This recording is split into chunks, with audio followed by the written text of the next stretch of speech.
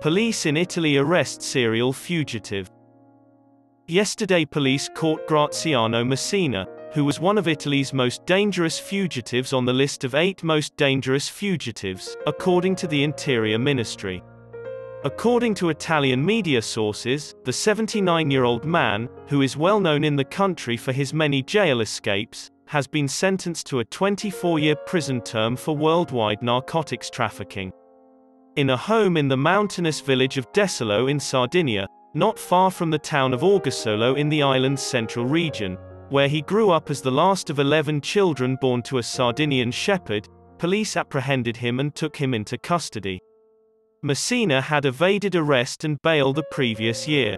As reported by media outlets, he has spent more than 40 years in prison for attempted murder and abduction spree, and he is well known in Italy for his daring escapes, including once by leaping from a speeding train during a transfer and once by disguising himself as a priest. In 1970, he is said to have disguised as a lady and sat in the stands to see his football side Cagliari play.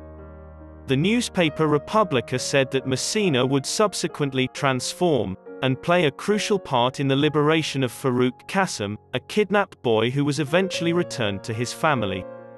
It was because of this that Italy's then president decided to pardon him. He used to work as a tour guide for a time. However, in 2013, he was detained once again on suspicion of establishing an international drug trafficking network, and his pardon was subsequently revoked as a result. Mesina's attorneys informed the ANSA news agency that he had undergone a tough year on the run, during which both of his sisters died of coronavirus.